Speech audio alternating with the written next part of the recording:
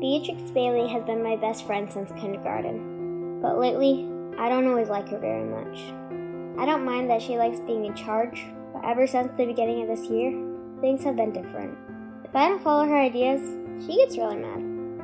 Sometimes she says mean things, other times she gives me the freeze. I don't know which one's worse. But there's a new girl in town. Her name is Hazel. She likes science, just like me. And Hazel really likes bees. I don't like bees, but I do like Hazel. The only problem? Beatrix can't stand Hazel. She says I can't be friends with both of them. She says I have to choose. Bees have it easy. They don't worry about what to do. They always know who to follow. Best friends forever? I used to believe it. Now I'm not so sure. The Queen Bee and Me by Gillian McDunn from Bloomsbury Children's Books. A story about the sweetness and stings of middle school friendship.